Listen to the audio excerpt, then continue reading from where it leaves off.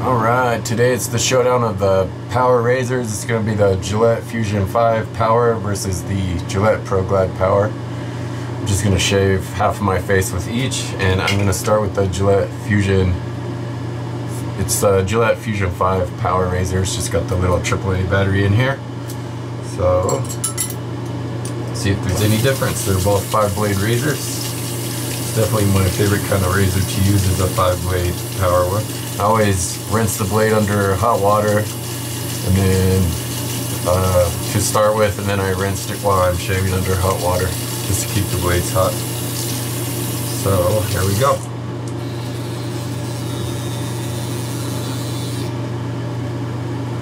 It does help with these uh, power razors since they vibrate to just go kind of slow and let the vibration do the work. Especially with the first pass.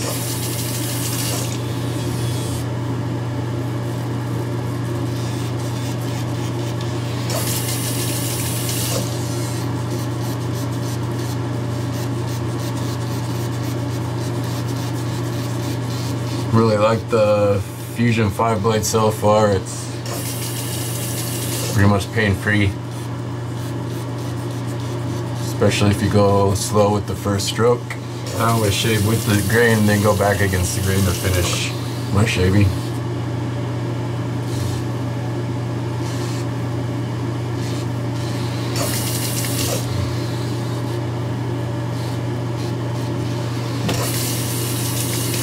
even going slow, it's been pretty quick shave already, so go ahead and go back against the grain now.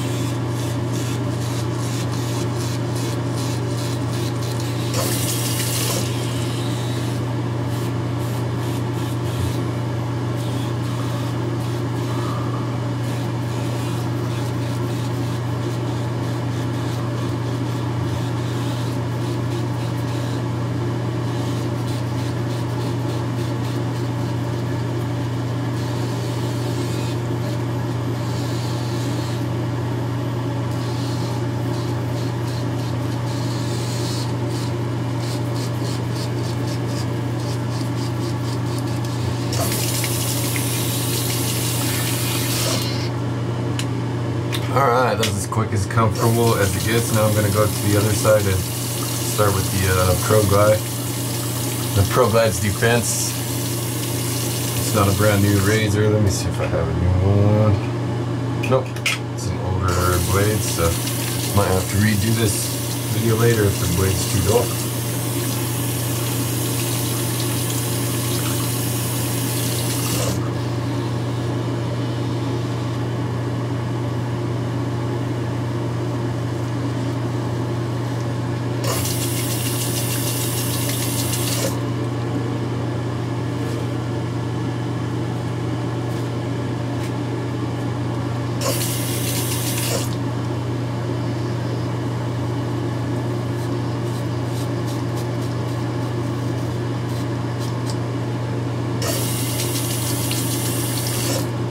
Sensing that the vibration's not as strong.